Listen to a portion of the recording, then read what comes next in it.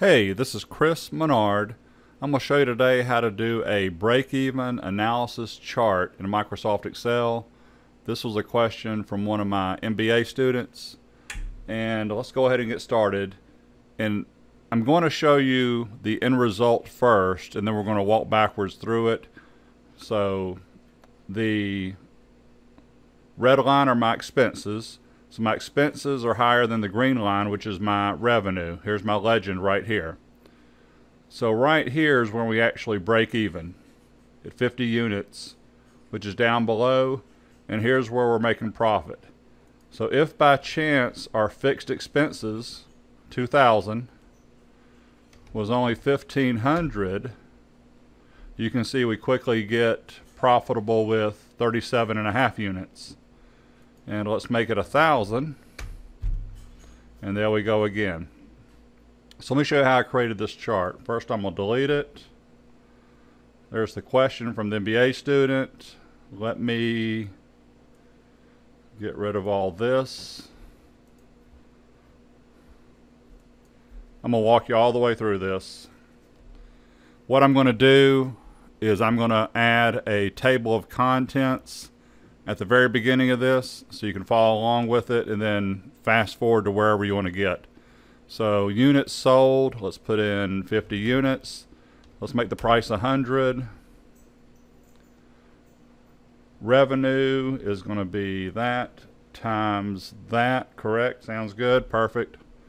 Variable expenses, variable expenses per unit will be 60 bucks.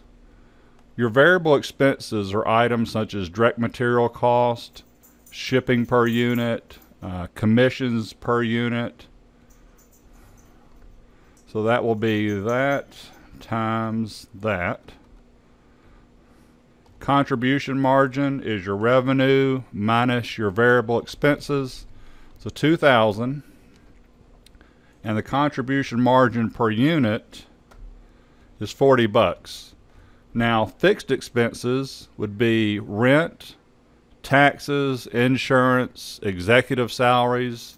Let's make that 1600. So therefore, 2000 minus that, we have a profit of 400. To find the break even in units is simply equals your uh, fixed expenses divided by your contribution margin per unit. Let's test it.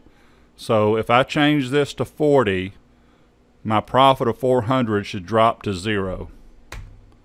And it does. If I make it 60, there we go. If I change our fixed expenses to 2,000, we now need to have 50 units to get to a break-even point 50 units, profit zero. So it's working. So I'm going to leave these numbers right here. So now here we go making the chart. So once again, look for the table of contents. Let's start off with 20 units, 30, highlight, autofill. Revenue is simply equals that. We'll make it a mixed reference times the price. Let's make that absolute. Look in the formula bar. There it is. Pull it down. There's your revenue for those units. Your fixed cost is equals that. I should have made that absolute reference. So equals dollar sign C dollar sign 11. Pull that down. That works. Total expenses. E6 times your variable cost, I'm not done, 1200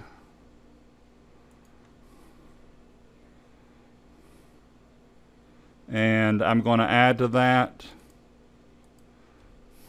tw yeah 20 times 60 is 1200 and then I'm going to add to that the fixed expenses.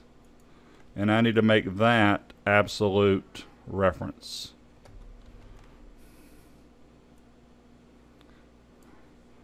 Therefore, your profit is your revenue minus your total expenses. Correct? Someone say yes. Yes, it is. Good. Thank you.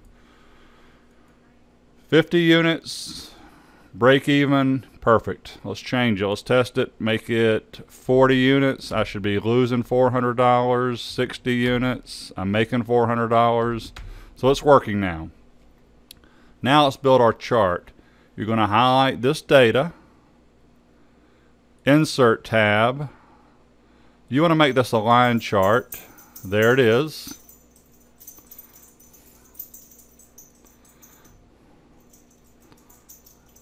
The first thing you need to fix is notice my units down here, one, two, three, four. I've got to fix that. Go to select data. Make sure you have units selected. Click over here on edit. And that needs to be, I'll do it again. We backspace through it. Sorry.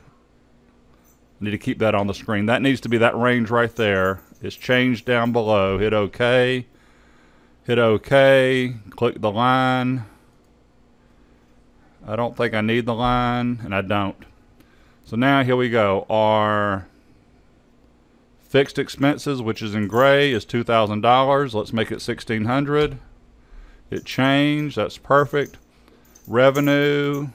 Let's make revenue this is all optional now. Let's make revenue green. Let's make total expenses a red font color.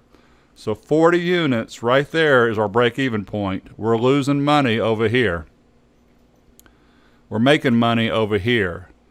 If we change our price to 105 bucks, it changed. Let's test it again. Let's make it 120.